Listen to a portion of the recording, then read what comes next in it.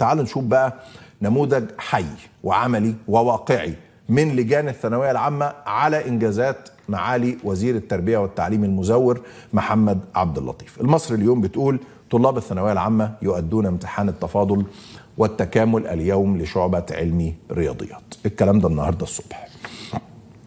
إيه اللي حصل يا جماعة في القصة دي؟ الأول إنه ده امتحان التفاضل والتكامل للثانوية العامة عايز أقول لحضرتك ان ده الامتحان الثالث اللي بيتم تسريبه في عهد محمد عبد اللطيف. ده الراجل ما شاء الله ما كملش أسبوعين ثلاثة وده الامتحان الثالث اللي بيتسرب في عهده. اتعين محمد عبد اللطيف وزيرا للتعليم خلفا للدكتور رضا حجازي يوم 3 7 2024 ومن وقت تعيينه اتسرب امتحان الكيمياء والجغرافيا يوم 6 7 2024 وبعدين اتسرب امتحانات الجيولوجيا وعلم النفس والجبر والهندسة يوم 10 7 2024 وبعدين اتسرب امتحان التفاضل والتكامل في 13 7 2024 اللي حضرتك شايفه قدامك دي شهادة مش عارف شهادة إيه. ده إيه؟ ده لوحة العار. ما تنفعش تبقى لوحة الشرف. ما ينفعش نقول على الكلام ده إنجازات. لكن لو حضرتك حد سألك إيه رأيك في وزير التربية والتعليم قول له المعلم. في خلال تقريبا 10 أيام اتسرب في عهده ثلاث امتحانات.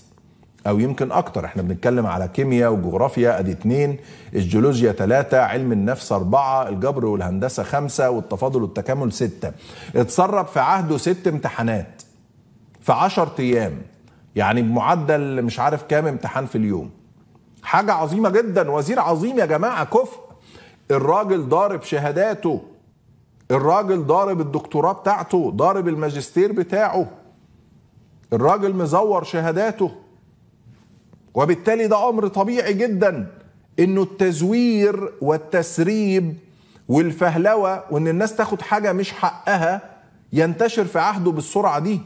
ما هو إذا كان رب البيت بالدف ضارب فشيمة أهل البيت إيه؟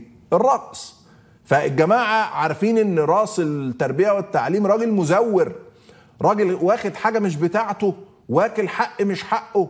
فالعيال يعني قلبها ميت خلاص. ما هو الوزير بتاعنا كده. طب إحنا ليه ما نعملش زيه؟ عشان كده بقول لك مشكلة وزارة التعليم دلوقتي يا معالي الوزير فيك أنت. أنت نموذج سيء للأولاد.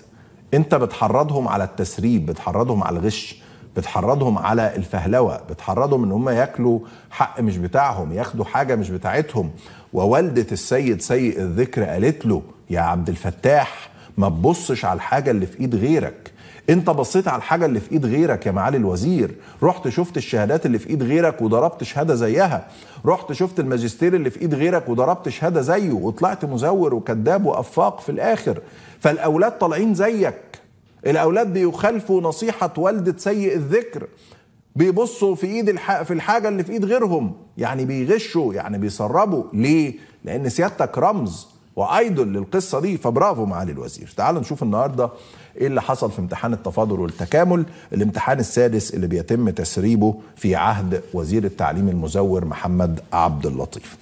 يمكن الناس اللي اتفرجت علينا الأسبوع ده والأسبوع اللي فات تكون شافت التسلسل الزمني ده قبل كده إحنا مش بنعيد حلقة سابقة. ده مش مقطع من حلقة من الأسبوع اللي فات.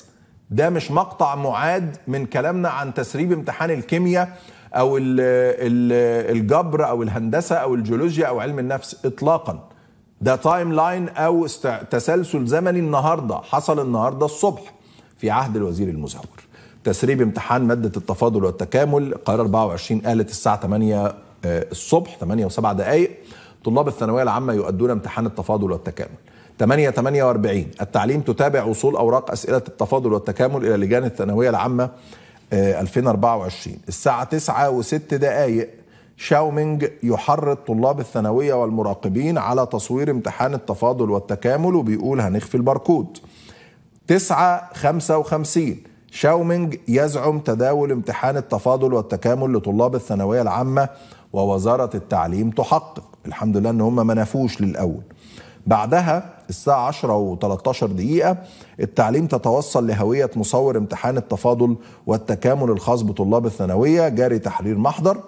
10 31 التعليم تتحدث عن اتخاذ الإجراءات القانونية ضد طالبين حاول الغش بامتحانات الثانوية العامة. السؤال الذي يفرض نفسه هنا هو حضرتك كل مرة بيحصل نفس الكلام أنت ليه ما بتأمنش قبل ما يحصل؟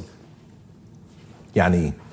يعني أنت وزير تعليم في عشر أيام ست امتحانات بتتسرب بنفس الطريقة. أنا قلت من شوية دي مش حلقة معادة.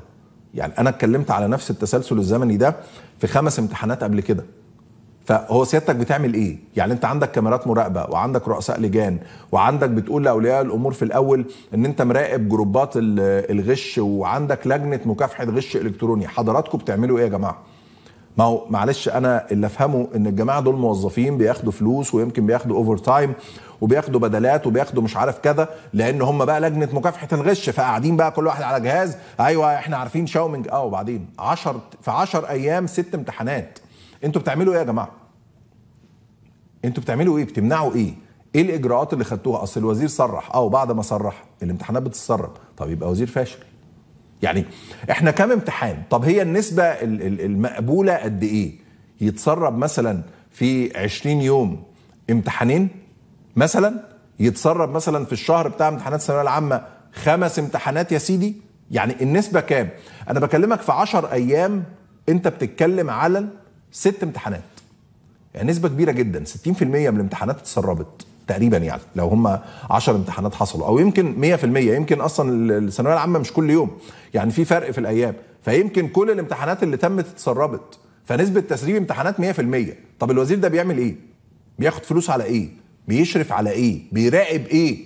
الناس اللي شغالة معاه بتشتغل إيه؟ ما هو ده سؤال برضه. ما اصل أصل أنت بتتكلم في مصير ولاد في مستقبل ولاد حضراتكم اللي بيمتحنوا دلوقتي في الثانوية العامة. الولد بيقعد يذاكر أو البنت بتقعد تذاكر وبعدين في ناس بتسرب امتحانات. ووزير تعليم أصلا مزور مش عايز أقول مش فارق معاه بس هو فاشل مش عارف يعمل أي حاجة.